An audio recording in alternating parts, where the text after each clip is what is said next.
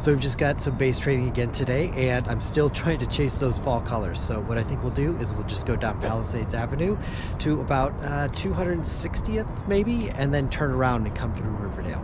So enjoy the run.